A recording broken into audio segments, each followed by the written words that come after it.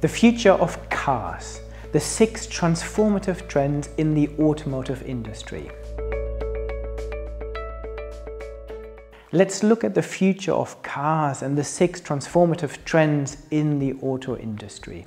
As a futurist, I help companies understand future trends in all industries. I've just written a book on future business trends and future tech trends. And if you want to learn more about any of those topics, make sure you subscribe to my YouTube channel because I have a lot more content on all of these things on my channel. Really, over the last hundred years or so, cars have evolved. They've gone faster and more sophisticated, but fundamentally they have stayed the same. They still have four wheels, an internal combustion engine, and a steering wheel. But over the recent years, we've seen some big changes from electrification to autonomous driving and even flying cars.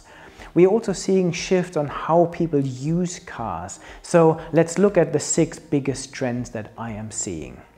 The first one is that we'll have more intelligent cars. We, cars got smarter as they became connected to the internet. They're now able to predict and adapt, which gives us much better safety, more comfort, and things like intelligent in-car assistants. We can control them with our voice. Cars can even monitor our eye movements to understand whether we're paying attention or not. And these the systems will only get better over time, which leads me to my second trend. As these systems become better, we will have self-driving cars or fully autonomous cars. Um, and autonomous cars have grabbed the headlines over the last few years. But we already have cars and trucks and other vehicles that can drive by themselves. But there are challenges in terms of legislation, infrastructure and societal readiness to some extent. I believe that autonomous driving will become the norm in the future. And full uptake of autonomy could actually reduce road accidents by up to 94%. So what I am predicting is that we will see a gradual move as cars become more intelligent, they will take over more tasks and gradually become autonomous.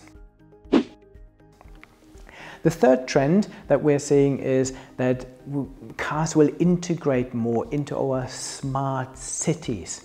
So um, most cars sit idle for 90% of the day and what we'll see is probably a shift towards more shared car ownership, maybe car as a service model, especially in cities um, where, we'll, where I think public transport will play a massive role, but there will always be a role for cars.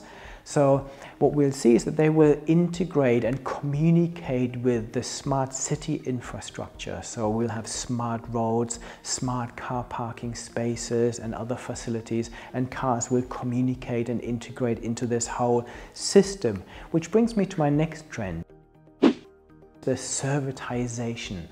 I said that car ownership is going to change and what we'll see is that in addition to renting and owning um, and having a car as a service basically, so you don't buy it, you, you, you rent the, the ownership or have mobility as a service, what we're seeing is more additional services will be added. So the whole infrastructure around smart cities, around cars, around mobility. If you think about cars can offer parking spaces, charging spaces for electric cars. Mobility as a service offers so many new opportunities to widen this whole move towards a service economy.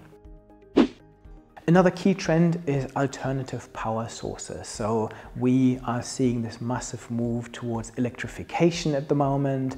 Ford basically said that all the vehicle vehicles it sells in Europe will be electric by 2030 and VW says that 75% of all of their cars globally will be electric by 2030 and some are even more ambitious. So Jaguar is planning to switch its, its entire production line to electric vehicles already by 2025 and then there are new other sources. It's not just about electrification for me. There's green hydrogen on the horizon as well, especially for larger vehicles and trucks and buses and vans where this might become a really viable option. So we're seeing this transition. And then my final trend is how cars are being built. So this is another big trend that we're now seeing this change towards industry 4.0 where um, we have more automation, more robots, but also a move towards a greener production where we make sure that car parts are recyclable, a completely different supply chain to some extent where suddenly car companies need to source batteries and so on and integrate into a charging infrastructure in the future.